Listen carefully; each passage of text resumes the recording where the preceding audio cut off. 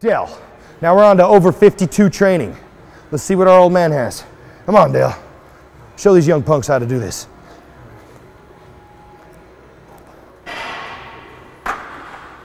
One, to, three, four. These are two failure. Five, six. Come on, Dale. Seven, eight. Come on.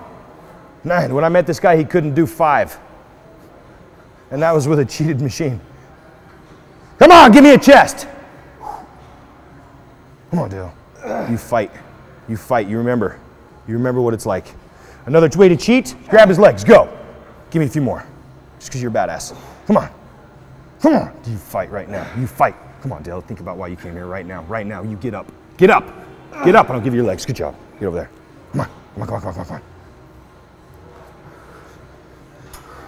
Grab that weight.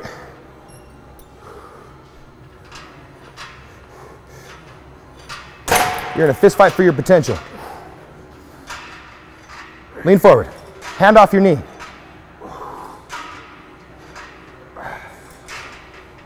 Six. Come on. If you have to, grab this bench.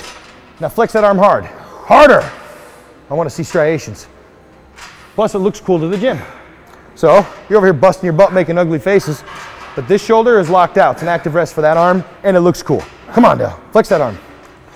Think about. Your chest, your back. Yeah. This is pre-contest. What does that mean? It means we have a contest coming up. You're in a fist fight with yourself, Dale. Let's go. Lean forward. Give me an arch in the back. There it is. There it is. There it is. Come on.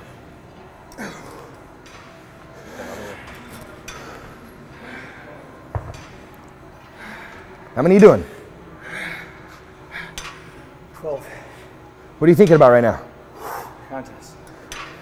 Yeah. Yeah. Think about the contest before you get on the damn stage. Let's go.